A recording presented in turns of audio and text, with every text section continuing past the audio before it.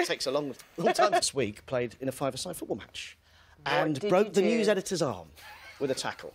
I left the paper six weeks later. Can't that. Not a Yeah. good trick. Or not. Thank Thanks, you. Mike. See you later on. Uh, 6.42. So, US... Pre- Beautiful images well, Yeah. weren't they? Uh, time now to get the news, the travel and the weather wherever you are. We'll have the headlines here for you at 8. See you then.